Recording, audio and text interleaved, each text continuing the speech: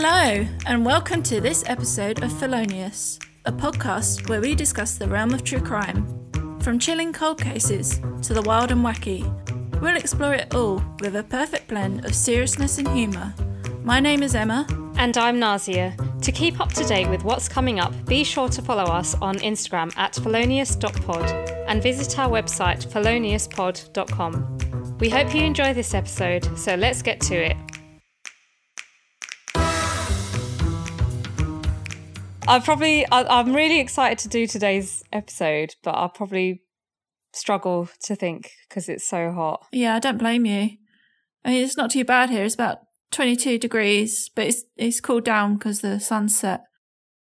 I'm jealous. It's 35 degrees every day this week. And it's like, at first it was okay, but now it's just kind of getting to me. I'm losing my tolerance for it. Yeah, you want to move up north. Yeah. It never gets to 35 degrees here. I know, but I mean, the good thing about this weather is my in laws have it's like a temporary swimming pool. So. Oh, okay. I didn't realize it was temporary. It looked like a a proper. No, it's like you dismantle it when you're done with it. You just let all the water out, and you just. I'll send you a proper picture, but I don't know. Uh, it sounds so. I don't know if this is a norm in many other countries, but at least in France, they sell a lot of like inflatable, giant inflatable, or this one's not inflatable. It's just like tarp material, that swimming pool appropriate, and it's around a metal frame. So you assemble it when you want to use it, spend about two days filling it up, and then you enjoy it for the summer. Given that the planet's burning, we've got extra days to enjoy it. Yeah. I mean, you'll be swimming around in winter by the sounds of it. Well, isn't like uh, British summertime? I was, you know, like how on Instagram people are complaining about how hot it is and whatnot. And I saw someone post something like, or actually, the official end of summer is something like mid September. Yeah, I think they here they class autumn as like when it drops to 10 degrees or lower. Oh, really? Wow. That's like winter everywhere else. yeah. but um, it's just weird because we're three months away from Christmas. Oh, God. Yeah. And, you know, people are getting geared up for Halloween if they're into that sort of thing. And that's next next month. God, yeah. But we're too busy getting burnt in 35 degrees heat wave. Yeah, that's mad. It is a bit. I do remember one time I was living in London and we were sitting in the park and it was 30 degrees and it was the day after Halloween because we had these Halloween um, chocolate log uh, sweets. I'm trying to remember that. Oh my God, that must have been ages ago. It was a few years ago, yeah. We were just eating Halloween sweets in the park. Yeah. On on the first of November.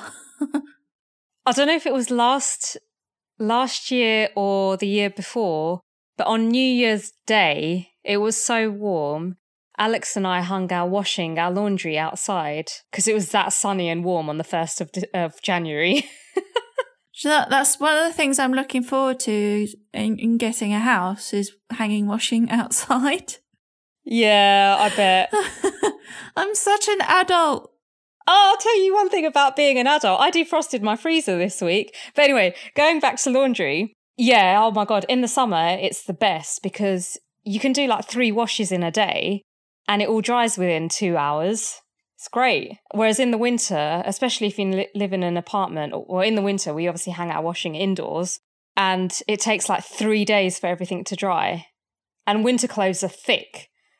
So you just get the smell of damp everywhere. yeah, that's nasty. But yeah, no, I, um, I, I defrosted my freezer this week, so I think that's like the most adult thing I've done this week, apart from taking care of my child. yeah, it's like keeping her alive. Number one. Yeah. Number two, defrosting my freezer, and it's made so much space. So Anyone anyone out there who hasn't adulted enough to defrost their freezer, I highly recommend it. It's hard work, but it's very satisfying. Yeah, if you're listening to this podcast, you're probably not adulting hard enough. yeah, that's true. I don't know. We shouldn't judge our our listeners. oh, that's true. Yeah, we love you, really. But my advice to anyone, anyone who's who who's preparing to leave their parents, oh no, even if you live with your parents still, help them out and defrost the freezer. You know, it's your responsibility just as much as theirs. But if if you live in a house or an apartment, defrost your freezer. Or get a frost-free one. No one's judging you. Do they exist? Oh my god, Nazia, you're not adulting enough. No. I'm still stuck in the times where we have to defrost our freezer. Is that why we keep on focusing on 70s true crime? Maybe. Because there's no technology involved, high tech technology involved in, in those crimes. So it's more aligned with us. Technophobes. We weren't even born in the 70s. I don't know what you're talking about. um, anyway, what have you found this week? Because last week it was dogs. Yes, it's not dogs this week. Oh, you're going to love this one. It's related to us. Oh, God. Okay. Go on. Stolen circumcision ambulance found after tip off. What? Yeah. What? Can you repeat that? Or clarify? Stolen circumcision ambulance found after tip off. And what does that have to do with us? a circumcision ambulance stolen in a violent carjacking has been found in a pub car park in East London. Not in Barking. The distinctive vehicle, an Audi TT, was taken in a robbery in Barking. No as the owner left a patient's house on Alderman Avenue at about 5:15 p.m. Wednesday. This is in 2015. What were you doing finding articles like that? I'm joking. You don't have to say. Surely the question should be how is a circumcision ambulance a thing and why would someone steal it? Yeah, that's what makes it a circumcision.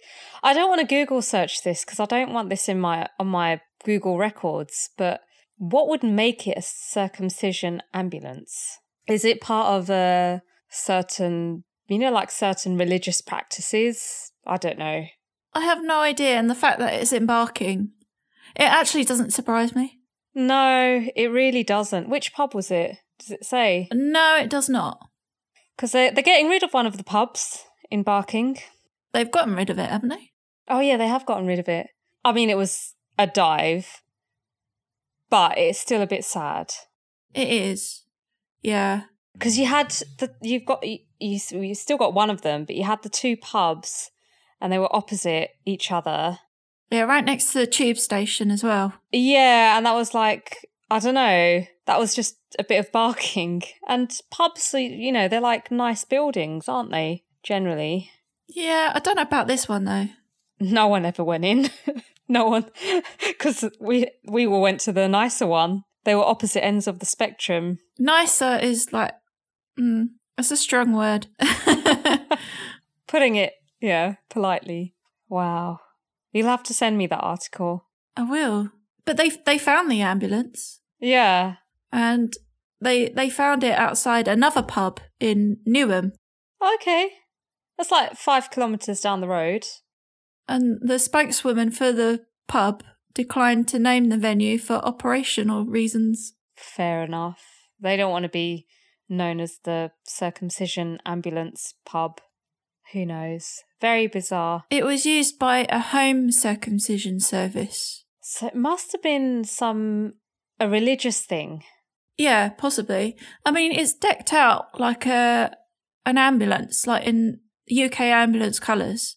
It's got a medical response on the doors, an emergency ambulance at the the bottom of the doors. It's it's just funny how it's an Audi TT. Yeah. and its sole purpose is to help perform circumcisions. Yeah. Strange. Anyway, that was my my find for this week. I don't want to be thinking about circumcisions right now. Not discriminating against anyone who's had one. It's just the process and the fact that many babies and young children have it done without, well, they can't consent, but it's kind of, it's, it's a bit of a touchy topic, that, isn't it? Yeah, but I thought it was funny. The, the article's funny. The fact that an Audi TT. It's got blue lights on it as well. Is that legal? It must be. Because can they be accused of like impersonating an actual ambulance?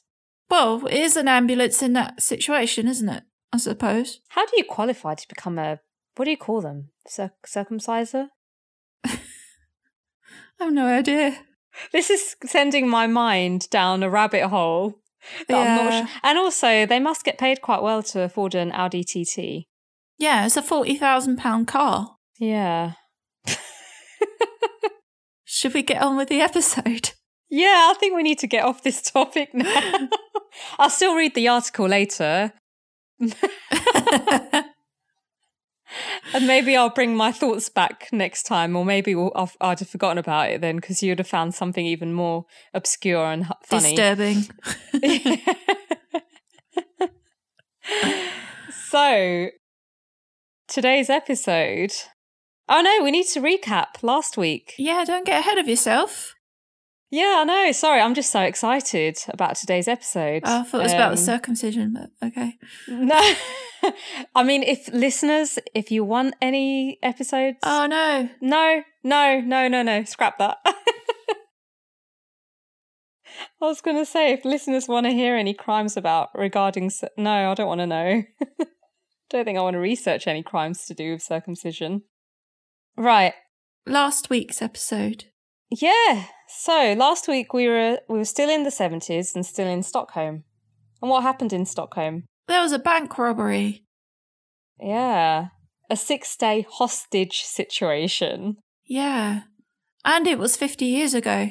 Yes. So when we recorded, it was on the month because we recorded in August. Yeah. Now it's September.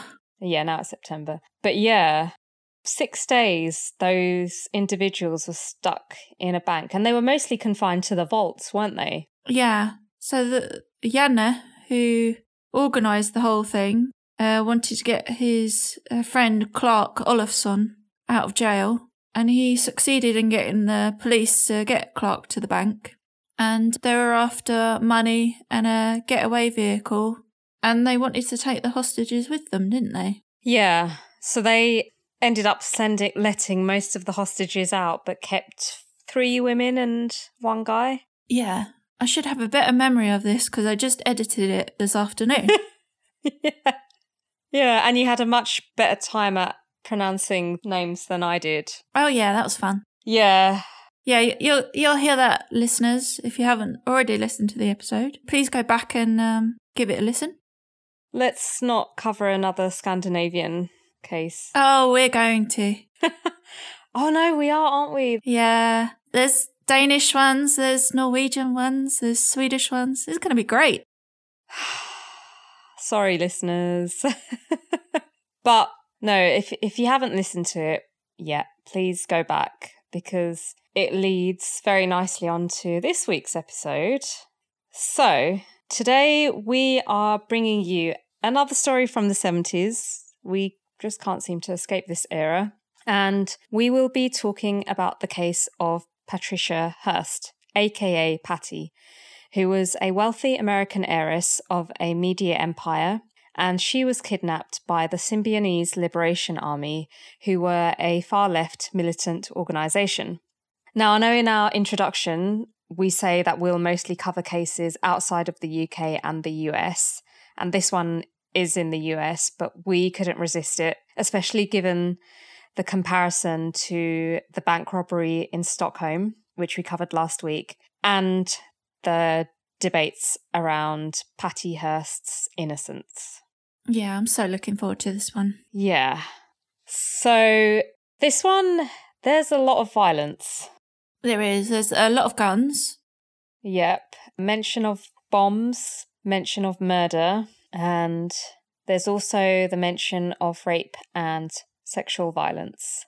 And there's lots of names and nicknames and Yeah, I've I've tried to keep the nicknames out of the notes in our discussion, but we will have them on the names list. So we're going to have a names list like we did for the Charles Sobhraj case, aren't we?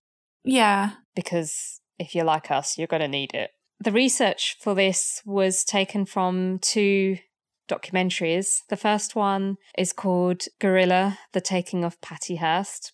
And then the second one was the it was a CNN documentary called The Radical Story of Patty Hearst. And the CNN one was really, really informative, and we'll probably comment on that throughout.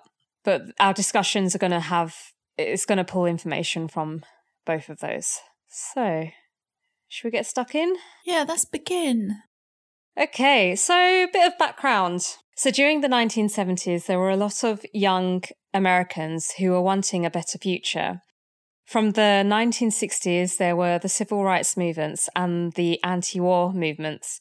There were lots of protests, some which were handled violently by the police. One example was the Kent State protest in 1970, where students were protesting peacefully and the police just opened fire. And they shot and killed four unarmed students and injured nine others. One of the characters who we'll talk about in depth is Bill Harris, and he does a lot of the talking in the CNN documentary.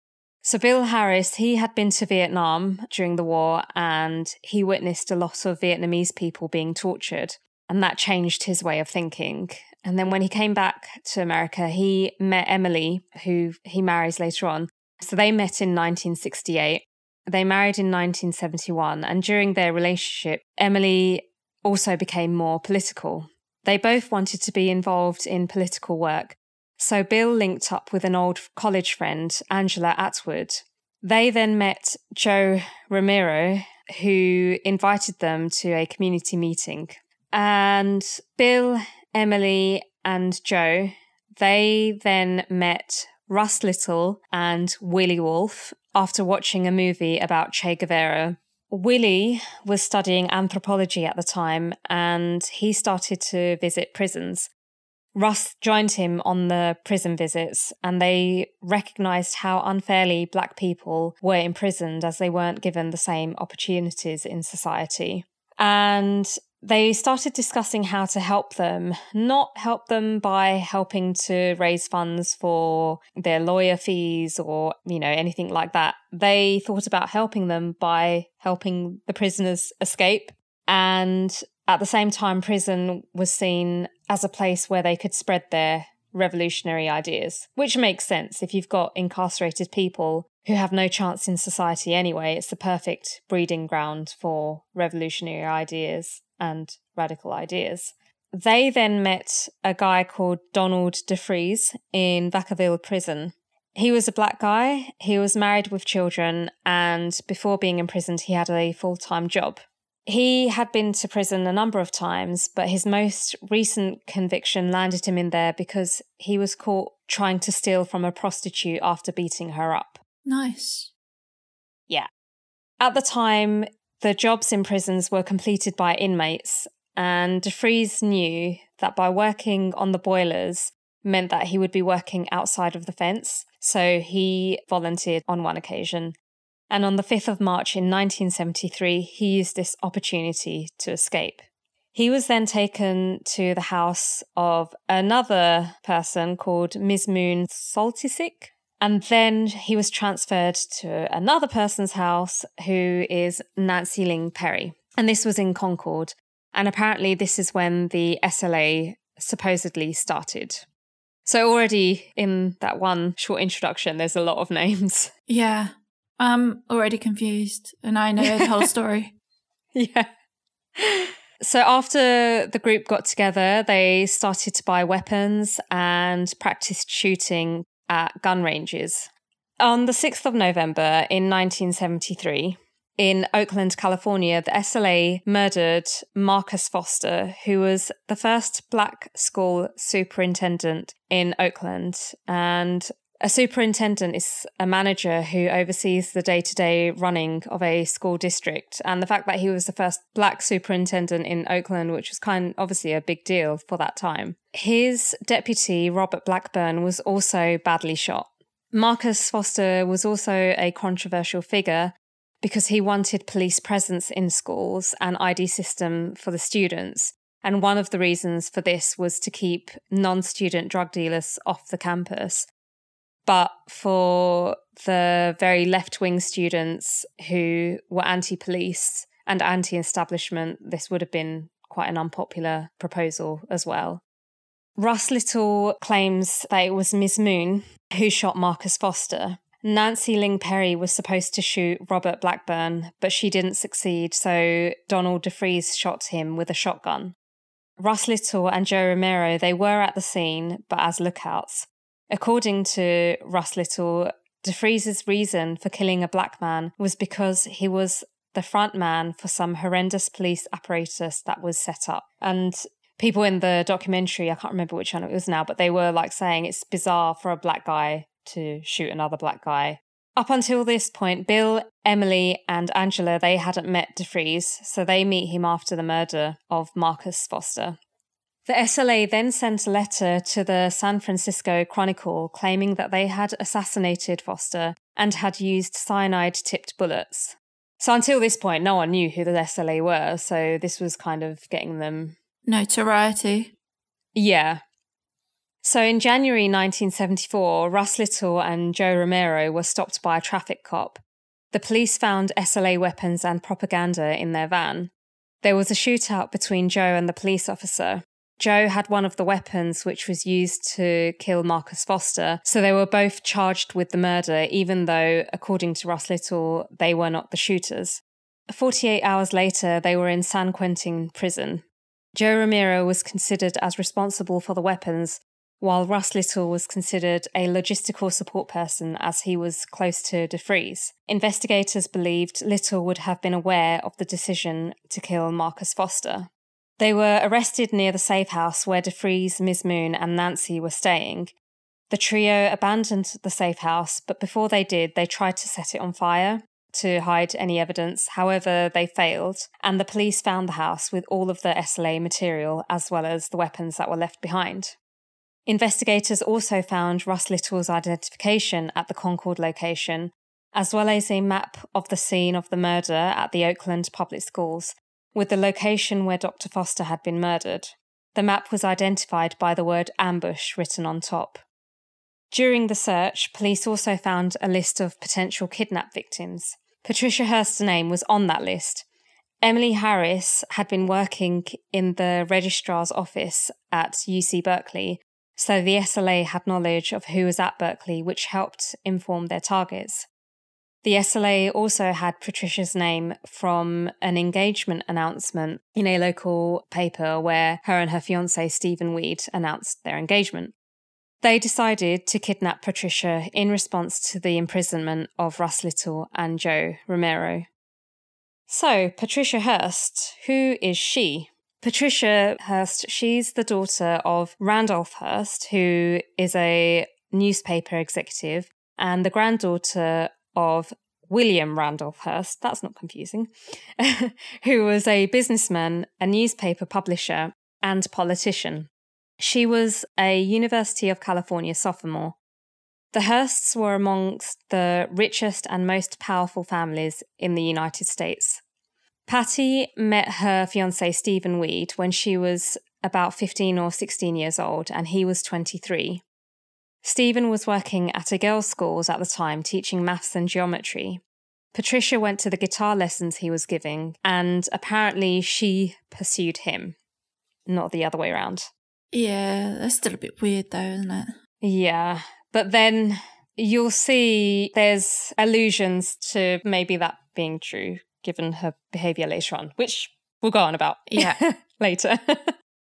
so she moved in with Stephen when she was 18 years old. According to Stephen, Patricia had a problematic relationship with her mother who wanted to lead her sort of life. Um, so I think her mother was like, just, she was very ladylike. Very traditional. Yeah, very traditional, old values. whereas Patricia liked doing things with her dad more, apparently, according to her fiance, Stephen. But this relationship with her mum is a bit important later on. A few days before her kidnapping, Stephen and Patricia did have a couple knock on their door asking about rentals, which seemed suspicious but not worrying at the time. In hindsight, Stephen wondered if it was the SLA checking in on them before the kidnapping. So on the 4th of February 1974, while Stephen and Patricia were having dinner in their apartment, Angela Atwood knocked on their door asking to use their phone, alluding to an accident that had happened outside. A few seconds after, DeFreeze and Bill entered the apartment. Willie, Mizmoon, Emily, and Camilla Hall, who was Mizmoon's lover, were outside in different vehicles. Angela went for Patricia and started to tie her up, while Bill stood in the door with his machine gun to make sure no one left or came in. Because Patricia was wealthy, DeFreeze believed they had a safe in the apartment and demanded to know where it was. Stephen pleaded for them not to harm Patricia and him, and that they could take whatever they wanted, not realizing that they were there to kidnap Patricia. Stephen tried to run towards Bill, but Bill managed to knock him back with his gun. Then DeFreeze continued to beat Stephen up. Bill then carried a tied, gagged, and blindfolded Patricia to the car. He had some trouble getting her into the trunk, which gave her an opportunity to shuffle back towards the garage, but then he managed to get her back again and proceeded to put her in the trunk. However, the commotion of all of this alerted some nearby neighbours. DeFreeze then came out and fired his weapon to keep any neighbours away. Nancy heard the shots from her vehicle and she fired her weapon too. As they were about to make the getaway, the police stopped Willie's car because he was driving with his lights off. And just as the police call was coming in through the radio about Patricia's kidnapping, this police officer let the SLA members go. So they were able to drive away, taking Patricia with them. I bet that police officer felt like a right mug at that point. Yeah, that's what I was going to say. He must have thought, oh, I could, I could have stopped all of this. yeah, I know. oh, dear. So, after being discharged from the hospital, Stephen Weed made a statement to say that the SLA were very militaristic and they had planned the kidnapping so well that they needed to say almost nothing to each other. The police found the getaway car, which was stolen and was abandoned after the kidnapping. They could tell the kidnapping was too well organised to be a spur of the moment crime. The FBI became immediately involved after being contacted by Berkeley police and they set up at the Hearst resident. On the 7th of February, Randolph Hearst received a letter which he read out on the news, and it was a letter from the SLA demanding that all communications be published in the newspaper and all other forms of media. They also threatened the execution of Patricia if the authorities made any attempts to arrest them or rescue Patricia, and they signed the letter off with capitals saying, Death to the fascist insect that preys upon the life of the people. At this point, Russ Little and Joe Romero had become the public faces for the SLA, and they were put on death row and tortured in prison, but they hadn't even been brought to trial yet. I can't believe that they were able to put them on death row without having a trial. Yeah, I mean, that's mentioned in the um, Guerrilla documentary, and I think it was Russ Little himself that says it. I think. But yeah, it's a bit crazy. But apparently, you know, they were tortured, and in one of the communications from the SLA, if I remember correctly, they were saying, you know, we want proof that you're not mistreating like Russ and Joe in prison. Mm. It's a bit, it is a bit crazy, and the fact that one of them is still in prison, Joe Romero. Yeah. So on the 11th of February 1974, the SLA demanded a prisoner swap. KPFA radio broadcasted that they received a seven page statement from the SLA and a tape recording from the SLA and Patricia Hearst. When they realised the prisoner exchange wasn't going to happen, they demanded that Randolph Hearst fed all the poor people in California $300 million worth of free food this demand was the idea of Bill, Emily, and Angela. A tape recording of Patricia Hearst is played on air. She says she is okay and that the SLA are willing to die for what they're doing. She hoped her father would meet their demands so she could be freed quickly. At this point, Patricia was being kept in a closet. The SLA wore ski masks, so she couldn't identify them. Otherwise, she was kept blindfolded. They did not intend to keep her for very long. Uh, going back to that radio broadcast, is that the one where I see it in one of the documentaries? But the the guy is just sitting there in front of all of these microphones. The the press have put in front of him while he's reading out this statement from the SLA. Yes, I think so. It's just a strange sight because obviously he's got his microphone for the radio. Yeah. And then you see like 10 other microphones surrounding him. Yeah. With other microphones coming from the other side of the screen, like to join in. And he's just reading this letter from the SLA. It's just really funny. It's, it's something you would expect today with all of these microphones, but not in the 1970s. Yeah. Randolph replied to the SLA's demands that they were impossible to meet and that he would come back with a counteroffer which would be acceptable, even though he had no one to negotiate with directly. De DeFreeze, whose nickname was Cinque, released a statement that Patricia was arrested for the crimes of her family against the American people and oppressed people of the world. He described the Hearst Empire as fascist and ultra right and one of the largest propaganda institutions of the present military dictatorship. He also stated he was willing to execute Patricia to save the life of men, women, and children of every race. So much of the media were at the Hearst residence at this point, as they did not know where the SLA were, so they couldn't really camp up anywhere where they thought the SLA might be because they had no clue. Yeah.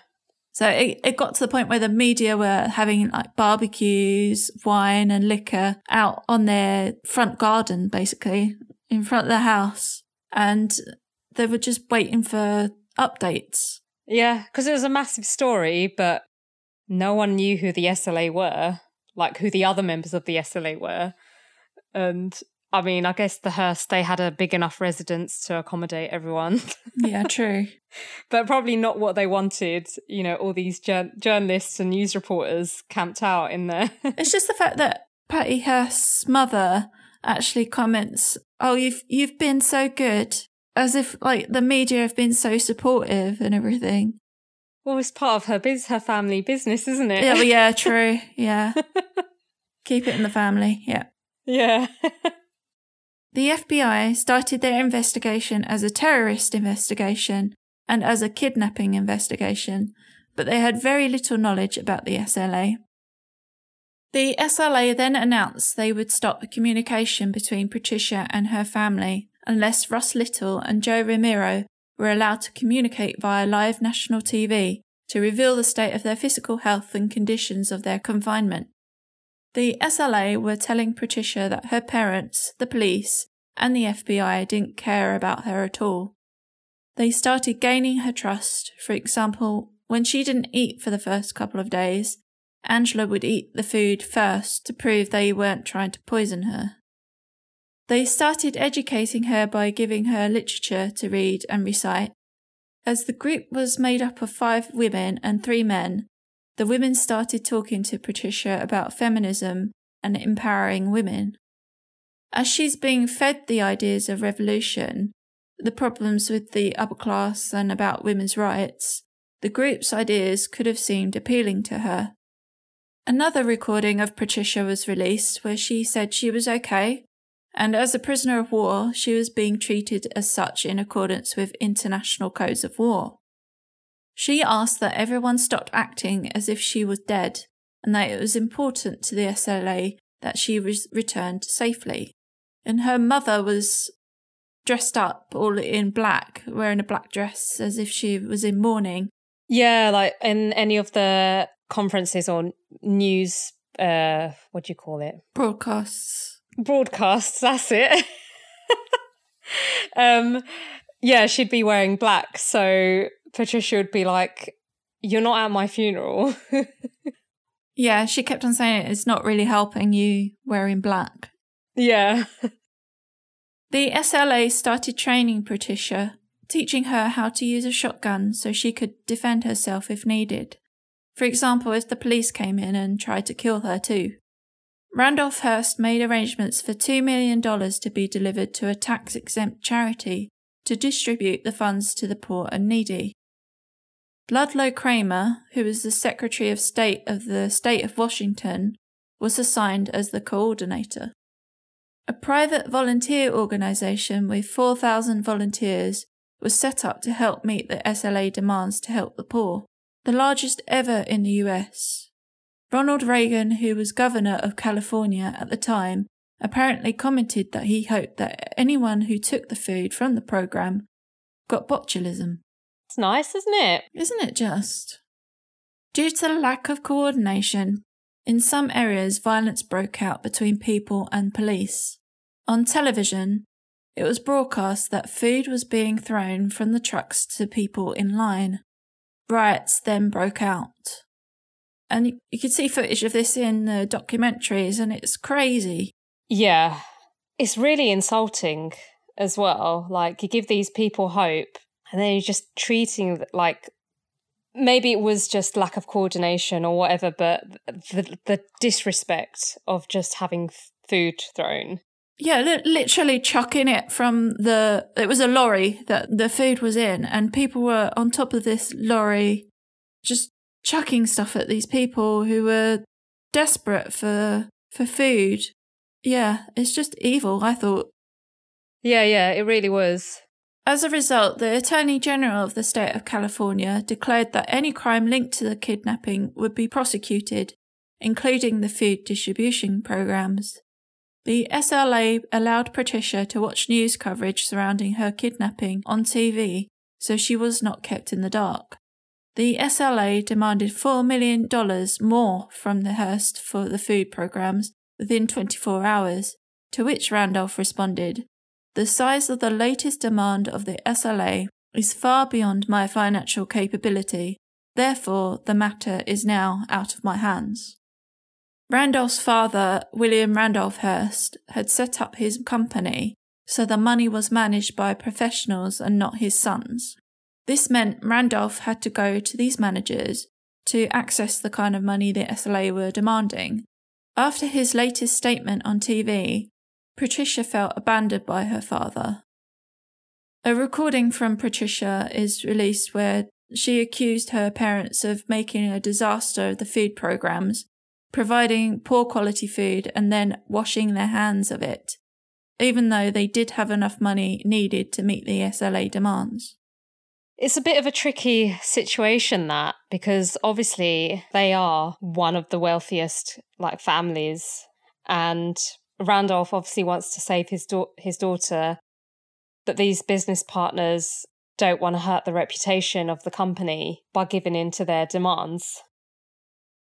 According to Bill, Willie started talking to Patricia as a peer rather than a kidnapper. He and Patricia had more in common in terms of class backgrounds, and he told her why he joined the SLA and shared books with her. Angela asked one day if Patricia wanted to have sex with anyone in the group, to whom she answered Willie. Initially, the group did not agree that Patricia should sleep with anyone, they weren't a, a monogamous group at all. They were all sleeping with each other. Yeah, they were in open relationships. In the end, they agreed to let Willie and Patricia have more privacy. However, according to Patricia, she says she was tortured and raped by her captors. Her fiance suggests before her kidnapping, Patricia didn't really have a political view, but now she might, and it was unavoidable. Meanwhile, Patricia's family were desperate to find her to the point that they hired psychics to help them, which obviously didn't work. At the same time, Catherine Hearst was reappointed by Ronald Reagan as a member of the University of California Board of Regents. The regents did not agree with the free speech movement, especially among students. Her reappointment as a regent was in defiance to the SLA but this further alienated Patricia from her family. The Board of Regents is a, an independent governing body which oversees the state's colleges and universities. So they decide education fees and the welfare and conduct of students. The SLA moved from a three bedroom house in the suburbs to a studio apartment that was on the same street as the FBI office. So, yeah, just going back to her mum, like where we said earlier, she didn't have a great relationship with her mum. And I think this emphasized that even more like the fact that her mum would do something that could, like, to defy the SLA. Yeah, that, that could make things worse. Yeah, that could, ha- you know, that could have potentially put her daughter in more danger. On the 3rd of April 1974, Patricia demanded her parents to tell the poor and oppressed people of this nation what the corporate state is about to do. Warn black and poor people that they are about to be murdered down to the last man, woman, and child. Tell the people that the energy crisis is nothing more than a means to get public approval for a massive program to build nuclear power plants all over the nation. Tell the people that the entire corporate state is, with the aid of this massive power supply, about to totally automate the entire industrial state to the point that in the next five years, all that will be needed is a small class of button pushers. Tell the people, Dad, that the removal of expendable excess, the removal of unneeded people, has already started. Oof, it's deep. Yep. She goes on to say she has been given two choices one, to be released in a safe area, or two, to join forces with the SLA.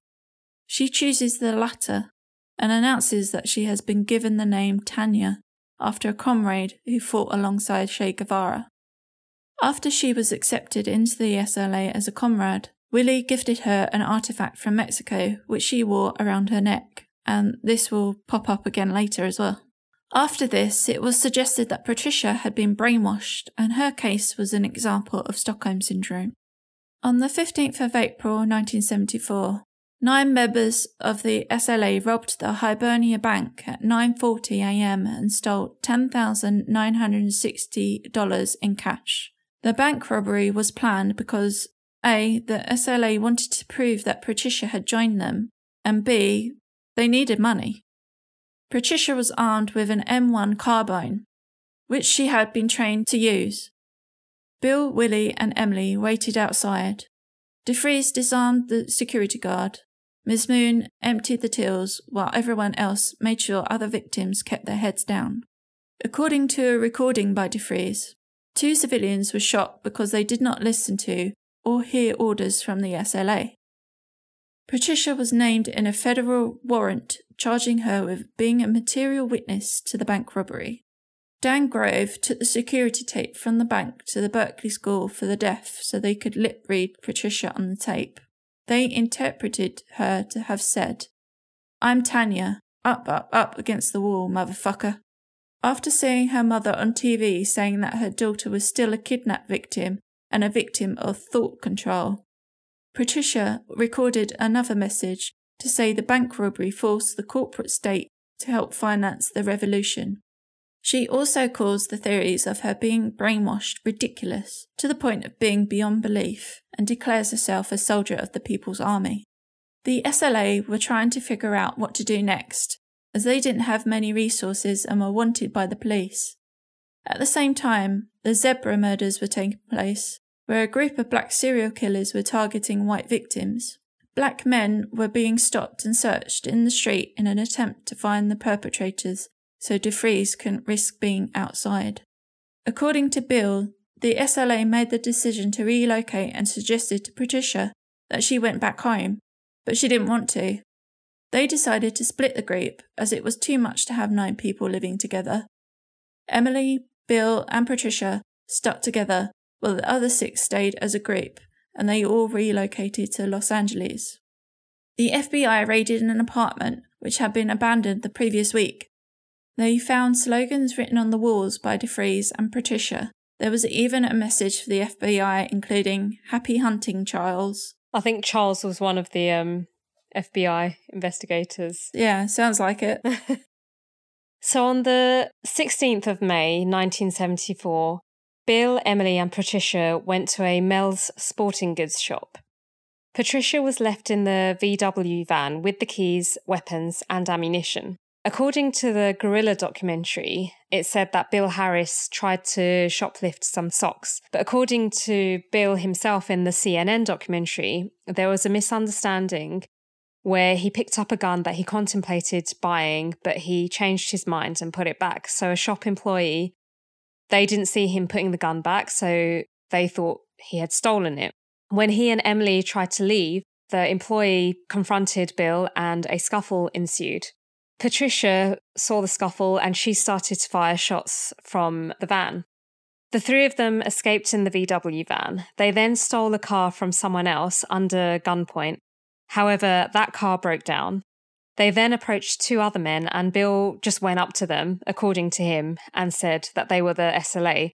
So the men allowed the three members to use their car. It was now unsafe for them to go back to the safe house. So the trio carried on to kind of make their escape, I guess. And they found a young guy called Tom Matthews, who was an 18 year old selling his van. At first, Emily asked to test drive the van, and Tom hopped in the passenger seat with her. She then asked if her friends could join. Bill then told Tom that they were with the SLA and that they needed to borrow his van. They were friendly with Tom, and Patricia opened up to him. And these are this is from Tom himself. He speaks about this encounter in the CNN documentary. And Tom even sawed off the handcuff that was still attached to Bill's wrist from the store altercation. The SLA had various rendezvous points around LA, and the trio went to a drive in, which was one of these meeting points. The other six saw the news reports about the sporting goods store and realised that they were no longer safe and that the police would know that they were in LA. So they found a new safe house a few miles away. When the others realised, so Bill, Emily, and Patricia, when they realised that DeFreeze and the other five weren't coming, they decided to drive to the hills. However, they realised they had left a parking ticket behind, which connected them to the street that the house was on. Big fuck up moment there. the FBI and the SWAT team went to the original safe house, which they found from this parking ticket, and found it to be empty with ammunition and literature left behind. Bill, Emily, and Patricia then stole a Cadillac and moved on from their location. They gave Tom Matthews back the keys to his van before leaving him. When they found out that the original safe house was found by police, they decided to go to Disneyland, not to go on Hyperspace Mountain, by the way. They wanted to recruit Goofy. Yeah, Goofy and um, Donald Duck. So on the 17th of May, the LAPD took the lead and were gathering information from witnesses. They swarmed the whole area in the hope of trapping the group. An elderly lady approached a patrol perimeter unit and informed them that the SLA was staying in her daughter in law's house. When the SWAT team approached the house, DeFreeze could be heard ordering the others to barricade it. The houses surrounding the location were evacuated, and 19 SWAT officers were surrounding the safe house, and there were also snipers. I think it's important to mention that, according to the documentary, the SWAT team, they were quite a new unit, and I think if it wasn't the first, this was one of their first big operations. So, meanwhile, Bill, Emily, and Patricia they were watching live news coverage of the raid from their hiding place near Disneyland. And the whole nation was watching. And, you know, it was being broadcast live. So they were watching the shootout, and everyone believed that Patricia was in the house. And it was the first time, as I said, it was the first time that news was being broadcast live and on videotape rather than on film. So it's quite exciting. And it made me think of the Stockholm incident where everyone's just glued to their TV. Yeah. News is entertainment. Yeah. Unfortunately, in some cases. The police and the SWAT team attempted to get the SLA members out of their hiding. And, you know, in, you can see videos where they're just ordering them come out. They're not shooting first. And initially, a man and a young boy came out the man lied and said that there was only a woman in the house, but then the boy said that there were people with guns and bullets inside. Then tear gas was thrown into the house to get the SLA to surrender. However, it ended up being a violent shootout, which was televised on national TV. And you can see videos of journalists on the scene. and like one of them nearly gets his head like he's he's talking and a bullet just whooshes like he could feel his hair. yeah, but like seconds before that happened, he was actually asking a police officer in, in what direction the SLA was shooting. it's like we're shooting in this direction, Yeah. mate. They were like, oh shit, this is actually serious. Yeah. So the police were outgunned by the SLA, and the SLA had masks on, which meant that they withstood the tear gas chemicals. The building then ended up on fire, and a black woman came out of the house and she surrendered, but she wasn't a member of the SLA. The SLA members kept shooting despite the fire. They moved into the crawl spaces and shot from there. Nancy eventually came out and she was armed and wearing a gas mask, and she was shot instantly. Camilla Hall was also within sight, but inside, and she was also shot, and her body was seen to be dragged back inside. So the police started shooting into the crawl spaces. Eventually, all six members of the SLA were killed Donald DeFreeze, Angela Atwood, Camilla Hall, Mizmoon Soltysik, Nancy Ling Perry, and Willie Wolfe. It was later found that there was a gas can which was bullet ridden and leaking, that with the tear gas grenade caused the fire. It was probably the longest and most intense shootout in the city's history. Thousands of rounds were fired from both sides, 18 weapons were recovered from the fire, two unexploded pipe bombs, and 23 surrounding houses were damaged. But miraculously, no police officers or bystanders were injured at all. I mean, that's a good thing, but I thought they were going to gun ranges to learn how to shoot. Sorry. They had Oh. more bullets and yeah, anyway. They had guns that they um, tweaked to shoot faster as well, didn't they? yeah. And they had like bombs in there that could have exploded and caused so much more damage. But I mean, it just goes to show how committed to their cause they were because they could have just surrendered. I mean, DeFreeze probably didn't want to because he never wanted to go back to prison again. But it's like, was it worth it leaving your your kids behind for that? Yeah, I, I don't understand it. But then I'm not uh, a revolutionary. I'm not, uh, Yeah. You know, a very political person. So, yeah. Well, I am, but there's a line. yeah. if I'm getting shot at, I'm not, you know, yeah. Well, firstly, I wouldn't start a, a militant group, that's for sure. And hopefully, we'll never be brainwashed into joining one. Touch wood.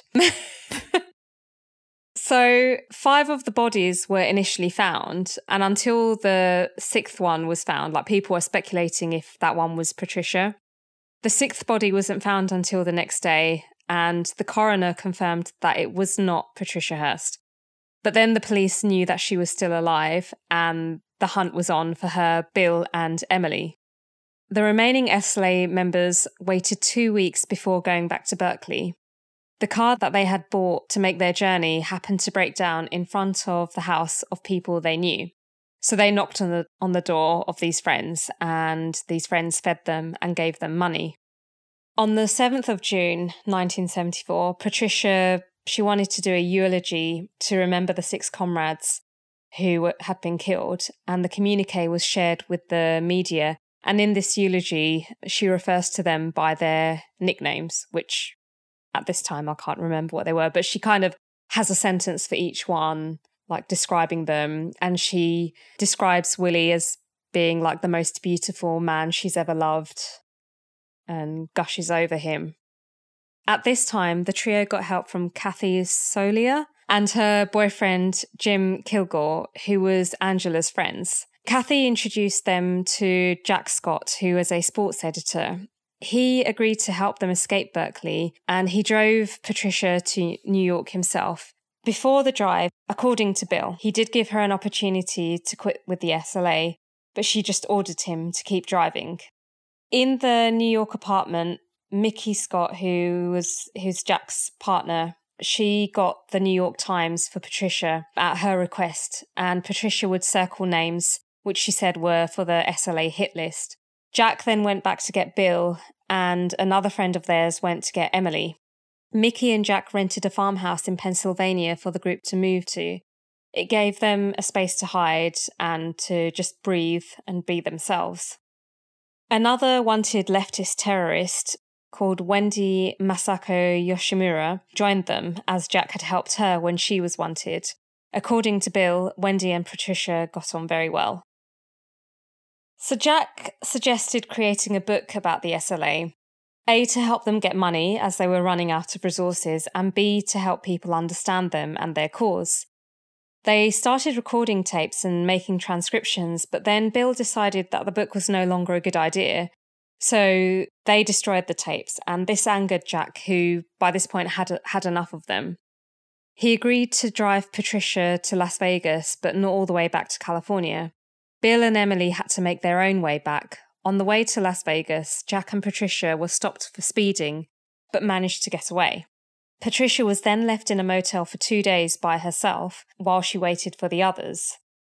Jim Kilgore then picked her up and took her to Sacramento. In Sacramento, the new group members came together, and the new group was made up of Bill, Emily, Patricia, Wendy Yoshimura, Kathy Soliah, Steve Soliah, who is Kathy's brother, Jim Kilgore, and Mike Bortin. And then Patricia and Steve Soliah developed a relationship. About Patricia being in the motel for two days, like she had the opportunity then to escape. Yeah. She's been, she's had, from what I can remember, three opportunities to escape. So the first one being the Mel's sporting goods when she's left in the van by herself. Yeah. And then when Jack gave her a way out, he was giving her a lift to wherever it was. Yeah. And then being left in the motel for two days. Jack's brother, Walter Scott, apparently he had problems with alcohol. He got drunk one day and informed the FBI that he believed Patricia was staying in the farmhouse in Pennsylvania. The FBI searched the home, and even though the SLA had cleaned the house before leaving, they found a piece of newspaper which had Wendy's fingerprints. And this was the first time the FBI linked Wendy to Patricia Hearst. The FBI also realised the Soliahs were involved as they had visited Wendy's ex boyfriend in prison. Jack Scott then started talking to an editor from the Rolling Stone about the SLA. The FBI then got in contact with the Rolling Stone and as a result, Jack and Mickey met Patricia's father. According to Mickey, Patricia's father wasn't surprised that she had joined the group as he knew that she was always a rebel. At this point, Russ Little and Joe Romero were sentenced to life in prison for the murder of Marcus Foster. On the 21st of April in 1975, the SLA carried out another bank robbery, which was the Carmichael bank robbery, they chose this bank as it had no electronic security. And before going in, I think this was according to Mike Bortin, they had difficulty deciding how to carry out the robbery. Emily's shotgun safety was off, and according to Mike, due to her nervousness, she ended up shooting a customer who was Myrna Opsahl. At the time, the group were yelling and cocking their guns. According to a bank employee, there was a pregnant lady who was also beaten up, and she very sadly lost her baby as a result of this. When the SLA fled, the bank employees were left to take care of Myrna while they waited for emergency services. After she was taken away, the same employees had to clean up the blood. Mrs. Opsahl's husband was a surgeon, and he was there when she was brought into hospital and he had to be told by his colleagues to stop trying to resuscitate her because it was too late. Patricia drove the getaway car, and under the felony murder rule, as she was an accomplice, she was equally guilty for the murder, and this is quite crucial later on as well. Myrna Opsahl's murder remained unsolved for 27 years. After the robbery and the murder of Opsal, the SLA moved back to San Francisco. Patricia and Steve began living as a couple. the group started to then make bombs as their new form of activism. On one occasion, according to Mike, the group were toying around with pipe bombs. They went inside for lunch and a fire started in the backyard. Apparently, the fire department came in to put the fire out, and while they did, they didn't notice the guns or Patricia Hearst on the premises, and they just kind of did their job and walked back out. I guess they're not really trained to look for those things. Yeah, maybe. Or they're just thinking, got to put the fire out. Yeah. But also, when they put the fire out, wouldn't they have seen the materials for a pipe bomb? You would think so, wouldn't you? Yeah, it's that's a strange one. Yeah, it is. So on the 7th of August, Patricia went to a police station and placed a bomb under a police car. However, it was a dud and never went off.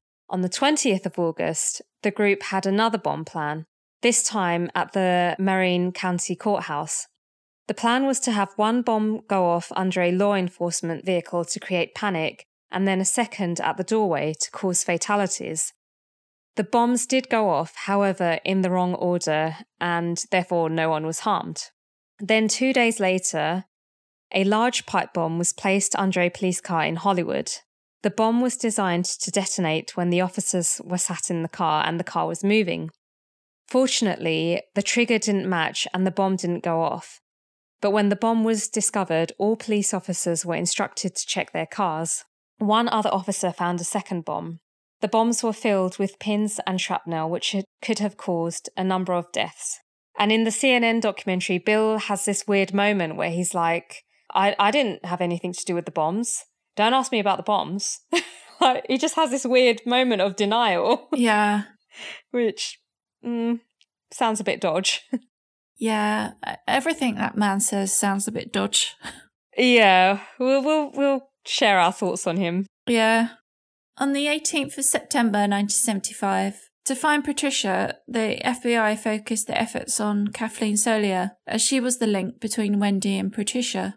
Wendy had allegedly rented a house, inside of which there was paraphernalia linked to one of the bombings, so she was being charged as an accomplice.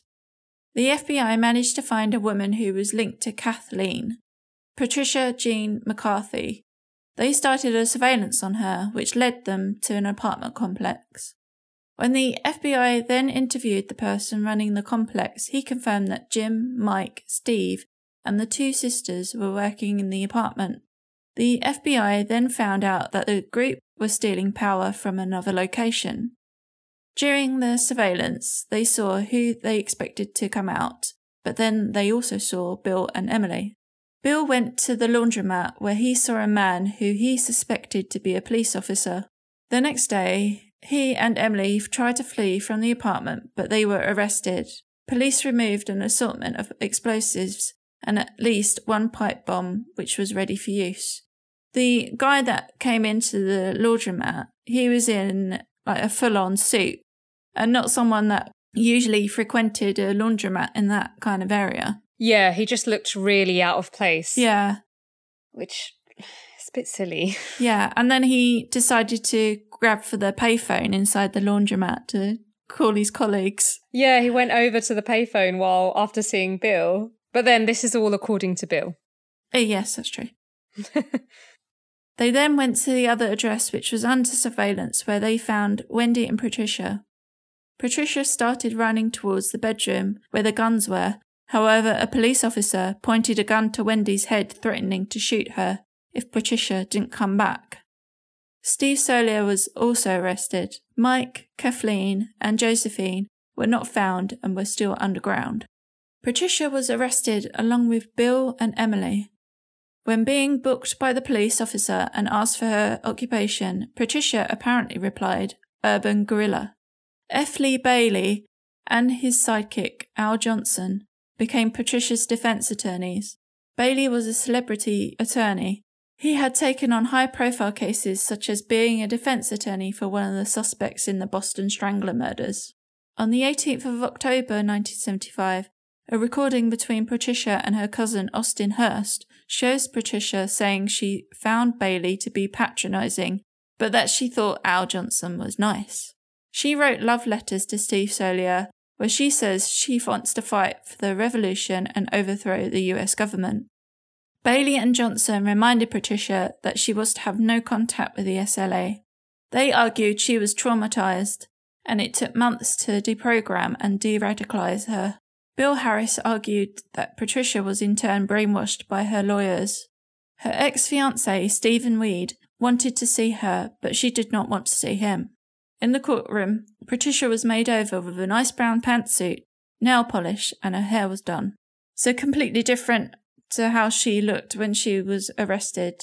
Yeah, they basically wanted to just make her look all pretty and not disheveled and Like she had money. Yeah, like she had money and that she wasn't a radical left wing revolutionary. Yeah. In the American criminal justice system, at the time, brainwashing could not be used as a defence. The defence put forward was coercive persuasion in Patty Hearst's case, i.e., she was forced to commit her crimes and was therefore not guilty. David Bancroft of the US Attorney's Office was assigned to cross examine the defence experts and put on the government's experts. The defence had chosen three psychiatrists Jolyon West, Robert Lifton, and Martin Orner, all of whom had speciality in brainwashing. Robert Lifton had researched prisoners of war who expressed sympathy with their captors after years of confinement. Jolyon West wrote the script for her defence. No matter which way the evidence was going, she argued she was being co- coercively persuaded.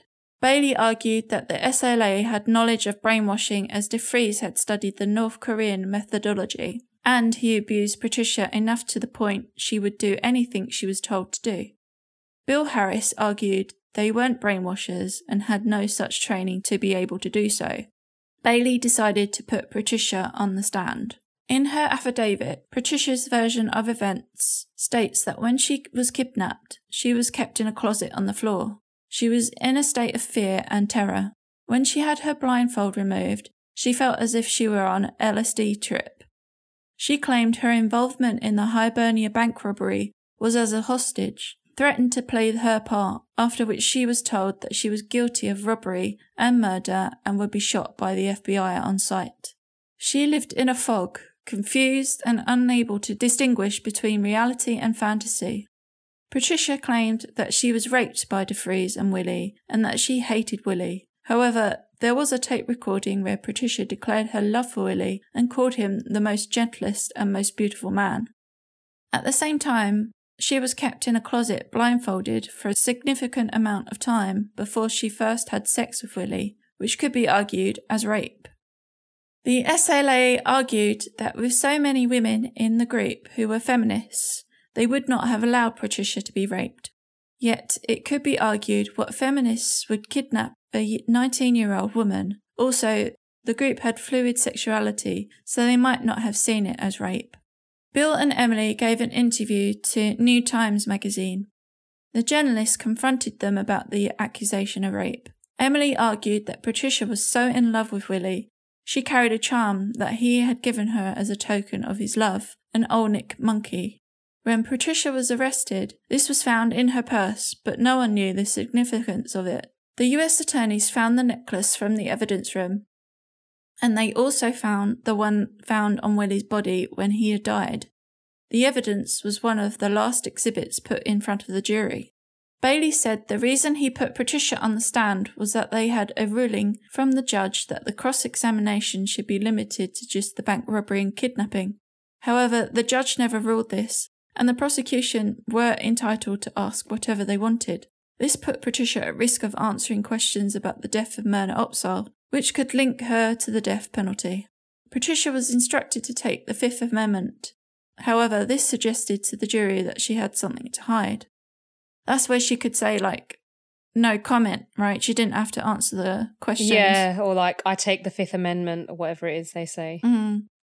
Following an eight week trial, Patricia was sentenced to seven years in prison for her participation in the Hibernia bank robbery. Bailey described the case as the worst he had ever taken on, and that Patricia was more unpopular than the Boston Strangler. Her arrest shocked people, as people didn't expect someone as wealthy as a Hearst to do jail time for a bank robbery, but it showed money couldn't always buy you out of jail. However, the judge allowed her to be released on a $1 million bail. Another condition of her bail was that she would be protected at her family's own cost. So her family hired Bernard Shaw, who was a former San Francisco police officer turned bodyguard, and he was a family man. Patricia ended up having an affair with him. While on bail, the charge for the Mel sporting goods store still remained. On the 9th of August 1976, Bill and Emily Harris were found guilty of kidnapping and robbery of the sporting goods store. They were convicted to a six year term. With pressure from the Hearsts, the judge, who was familiar with the evidence and thought Patricia was guilty of the same charges, plus assault with a deadly weapon, was removed. Patricia got five years on probation. Her class privilege started to come through. Then they wanted to convict someone for her kidnapping. However, the people responsible for her kidnapping were dead. Bill and Emily were offered the opportunity to plead life without possibility of parole, if they agreed to take responsibility, which of course they refused. There was pressure from the Hearsts not to prosecute, as it would draw Patricia into it as a witness. Bill and Emily agreed to a 10 year sentence, including the three they had already served while in custody. They actually benefited from the Hearsts' efforts to keep Patricia out of further litigation. The next concern was the Carmichael Bank robbery, where Myrna Opsahl was murdered. During the Hibernia bank robbery trial, the FBI agent that was in charge of the case at the time offered Patricia immunity for other circumstances if she made herself available as a witness to the FBI. Stephen Soliah was originally charged in the Federal District of Sacramento for the robbery because of eyewitnesses claiming he was there. Patricia told the true events of the incident, which revealed Stephen was not in the bank. The prosecutors wanted to stick with the eyewitness identification, even if Patricia was telling the truth. However, Stephen was acquitted. The federal government wanted to use the trial as a test run to see if they could prove the murder of Myrna. However, the trial went horribly. Even though all of the evidence was consistent with Patricia's story, they weren't sure if they could rely on her. At the end of the day, Bailey and Johnson got what they wanted immunity for Patricia, which meant she could not be prosecuted for Myrna's murder. She had gone from kidnap victim to urban guerrilla and then to state witness. The Supreme Court refused to hear her appeal for the Hibernia bank robbery, and she was surrendered at the federal prison in Pleasanton, California. George Martinez was brought onto the case. Then Patricia fired Bailey and Johnson. Johnson had even found divorce lawyers for Bernard Shaw so he could divorce his wife and marry Patricia. Johnson and Bailey were upset, especially as they had successfully got her out of a murder charge. The press reported that Patricia was asking for a new trial, charging her former attorneys for ineffective defense. However, her motion was rejected. Patricia then started doing interviews to change public opinion and get Jimmy Carter to commute her sentence. Since her family ran a media empire, the money, the connections, and influence, this was easy to do. However, they had a helping hand from something unexpected. The Jonestown massacre in 1978, where 900 people lost their lives in Guyana because they followed a preacher, brought into question how a charismatic person could persuade people to act against their own self interests. This played very nicely into Patricia's argument. As a result of this, on the 1st of February 1979, after 22 months in prison, Patricia's sentence was commuted by President Carter. In 1981, Russ Little was retried and acquitted for the murder of Marcus Foster. Ramiro, to this day, I believe, still remains in prison. Patricia published an autobiography called Every Secret Thing. In her book, she admits to being involved in the two bank robberies. She also claims that Emily Harris called Myrna Opsahl a bourgeois pig. Bailey commented in the CNN documentary that the book was the dumbest thing he had seen in his life. Because, and this is a quote from him, immunity does not cover writing books to make money about how you committed a capital crime and being a getaway driver in a bank where murder occurs makes the driver liable for the murder in the first degree. Even though the book contained details which could lead to evidence, nothing was done. Carter had only commuted Patricia for the bank robbery not the murder charge. Patricia continued doing TV interviews. A movie was made about her. She even acted in movies herself. She focused so much on the bank robbery that everyone forgot about the other incidents, including the Mel Sporting Goods store incident, the bomb plots, and Myrna Opsahl's murder. And, you know, given that her family own a media empire, she probably had the best PR you could get to help. Her family would have had all the media connections, wouldn't they? Yeah. They owned most of the newspapers, I'm guessing. Yeah, they would have had it. They owned newspapers and they would have had influence and, yeah, connections. So lucky for her. Yeah. Yeah, I imagine if she wasn't the person she was, she would have got charged for a lot more and and they wouldn't have been so lenient. Yeah. So in 1999, a former LACO prosecutor, Michael Latin, was handed a file on Kathleen Soliah, who had been a fugitive since 1975. She'd been hiding for 24 years, so the case was no longer a priority compared to other murder cases. Didn't she change her name? Yeah, so they find her on the 16th of June in 1995. The Minnesota Fugitive Task Force found her living under the name of Sarah Jane Olson and she was raising her children and acting in the in her community you know, like being in the community theatre, just living her life. Being a mum, basically. Yeah. And then she was arrested. However, the prosecutors realised that the jurors would have no idea who the SLA were, as it had been over two decades. They looked at the other crimes the SLA had committed and realised then that no one had actually been prosecuted for the murder of Myrna Opsahl. On the 21st of January 2001, Bill Clinton near the end of his presidency, signed last minute pardons. And on that list was Patricia Hearst. Now, going back to your comment about had she been someone else, like she wouldn't have gotten away with this, mm. I couldn't help thinking about Leslie Van Houten, who has just recently been released from prison at the age of 70. She was 19 when she committed her crimes under the influence of Charles Manson. And yeah, the crimes are slightly different and the circumstances are different. But, you know, Leslie served her time. She had various like parole hearings throughout her sentence before they deemed her safe to be released in society. Patty, under American law, was still involved in a murder and she was involved in all the bomb plots and she's just gotten away with it. Uh, um, I guess the difference is when Leslie was arrested, she was still a hardcore Charles Manson follower. And it took years and years to rehabilitate her and deprogram her. Whereas Patty, she just kind of flipped as, you know, quite easily. I say flipped. She changed her tune quite quickly, but at the end of the day, she was still involved in those crimes. I'm guessing that she knew Bill Clinton as well due to her family ties. Maybe. Well, her mother did work for Ronald Reagan. Yeah, that's true. Her grandfather was a politician. Yeah, so they probably had some strings that they could pull. Yeah. On the 16th of January 2002, Bill was arrested for the murder of Myrna Opsahl. After he was released from prison in 1983, he became an investigator for lawyers. He and Emily divorced in some time between 86 and 87 as she was in love with a long term girlfriend. Remember, they were in an open relationship. Bill remarried and had two sons. And then, of course, he was arrested again for Myrna's murder. Patricia was not indicted like the other SLA members, nor did she testify.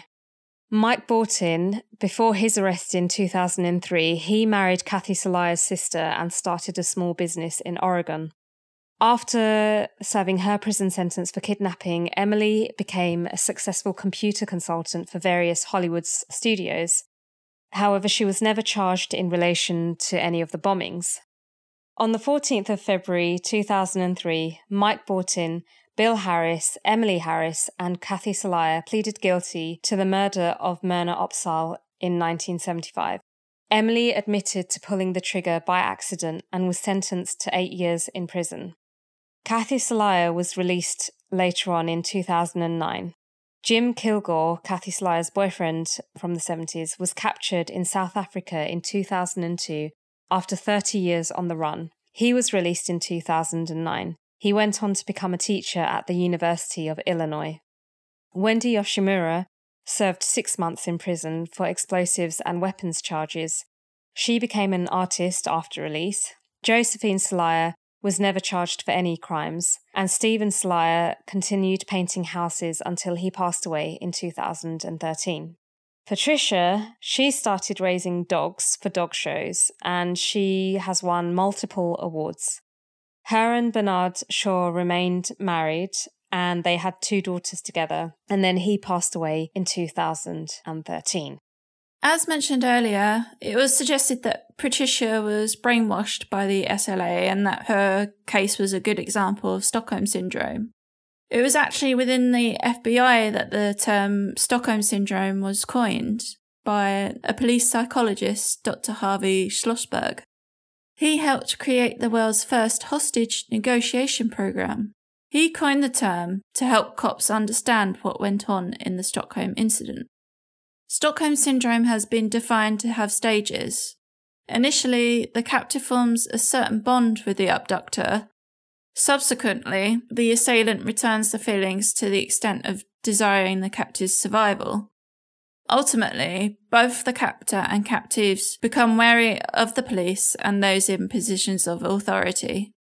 In the 1980s, studies revealed the syndrome's rarity absent in about 92% of hostage incidents, to which Dr. Bejerot, the, the psychiatrist who helped the police in the Kreditbanken robbery in the previous episode, he said that the syndrome only occurs under certain conditions.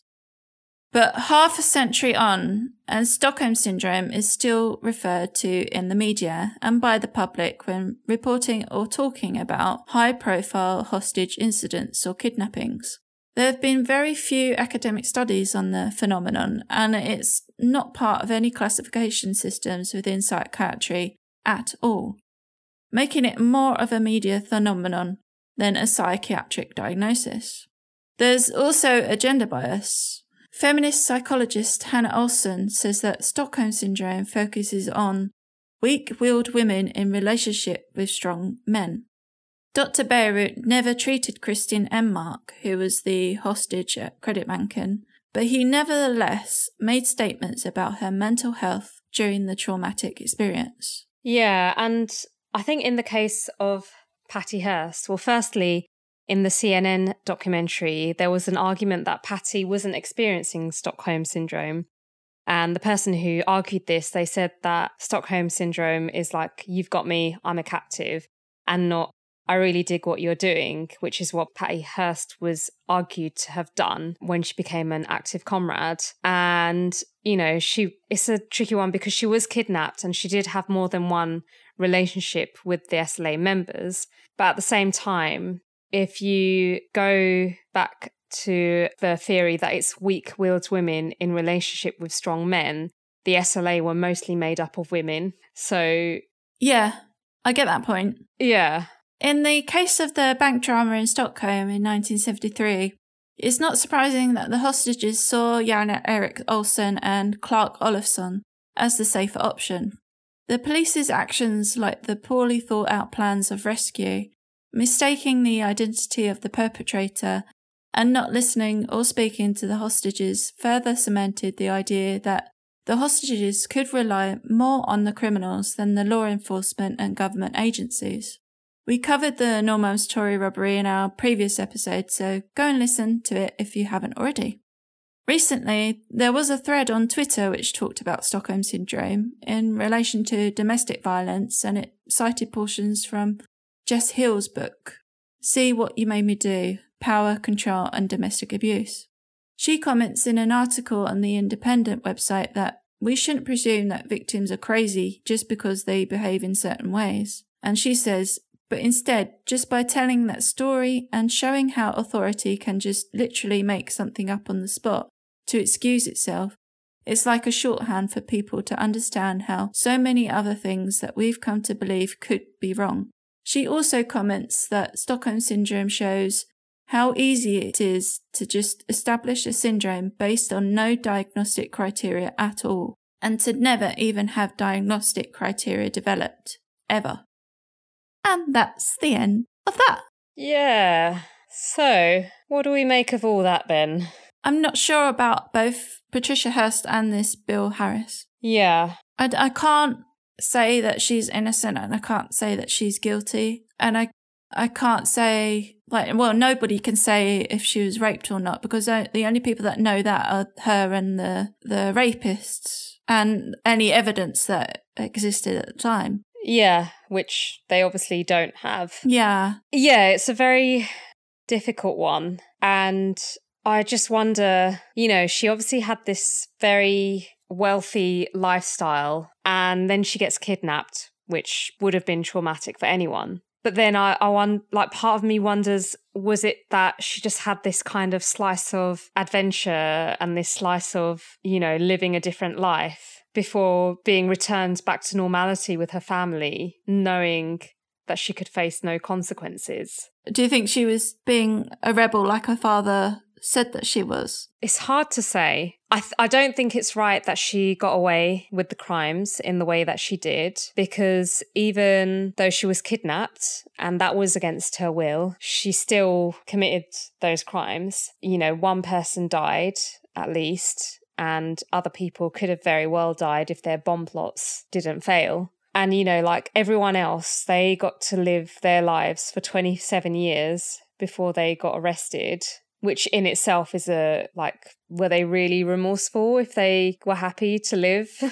Yeah right. 27 years while um, Myrna Opsahl's family had to live 27 years without any justice. Her poor son as well. Yeah when when she died he was a teenager. So he had to go through all of the rest of his teenage years all the way into adulthood not getting any justice for his mum but I think it's also, if it's true that Mizmoon and Nancy and DeFreeze were the ones that killed uh, Marcus Foster and shot his his colleague, it's also quite sad that Russ Little and Joe Romero were arrested, and one of them is still in prison for a crime he technically didn't commit. But then maybe because everyone else was killed in that shootout, they just wanted someone to pay for that crime. Yeah, it's a tricky one. It is. And it doesn't help the fact that, you know, she's from a very wealthy family who, you know, don't want this situation to ruin their reputation and whatnot. They've got connections which worked in their favour. It caused her parents to separate in the end, though, didn't it? Yeah, it did. The stress of the whole situation, it ruined their relationship. Yeah, which guess shouldn't come as a surprise. No. And also, you know, she had four relationships in that time. She had her, well, if you can call it a relationship with Willie and Stephen, but you know, she was with her ex fiance, then it was Willie, whether that was consensual or not, then it was Stephen, whether Steve Soliah, sorry, whether that was consensual or not. And then she ends up having an affair with her bodyguard. And we have to remember she was really young at this point. Like she was 19 when she was kidnapped. She was probably very naive, but they all were. They were all very young. It is easy to believe that the rich white girl got away with it. And maybe that is the case. But at the same time, you know, if she was like horribly abused. Well, that's it. The only person that knows what that feels like is the person that, that went through it or a, a person that has gone through something similar. Mm as a person that hasn't had that experience, fortunately, I don't know if I can say that she's innocent or guilty. It's just a strange set of circumstances that, yeah, you just can't judge, I think. Yeah. And I think it's, you know, it sounds like there was a lot happening during that time because you had the Boston Strangler, who was a serial killer or a group of serial killers. And then there's the zebra murders, which I knew nothing about. Yeah, I didn't know anything about those. So yeah, sounds like there was a lot happening. And the Jonestown massacre. Yep, the Jonestown, which I, I did know about. Absolutely horrendous, horrendous situation, which played into her argument. So yeah, our conclusion is we don't really have a conclusion, but we would love to hear people's thoughts. Yeah. Yeah, please let us know. We've got a contact us page on the website, so Yeah. So, next episode, what are we doing? what are we doing? We're gonna cover Portugal's first serial killer. Yeah. So, we're going to go even way back further in time. Yeah, we're out of the 70s and into the 1800s. And his name is Diogo Alves. Is Yeah. that how you pronounce it? You should yeah. probably start by learning how to pronounce the names. yeah. Now we've got to learn Portuguese. yeah. No, Portuguese should be all right. But yeah, this one's an interesting one. Yeah, so join us for that one, folks. Yeah, if you want to go back further in time and go to a different country, join us. Please download and subscribe with us wherever you get your podcasts. and let us know what you thought of this episode. Thank you for listening to the show. We hope you enjoyed this episode. You can find more information about the show on our website at feloniouspod.com or on our Instagram at felonious.pod. Links to our show notes can be found in the episode description, as well as through our website and social media. You can visit our Contact Us page and tell us what you think about the show and if there are any cases you would like us to cover. We hope you join us for the next episode. Goodbye. Bye!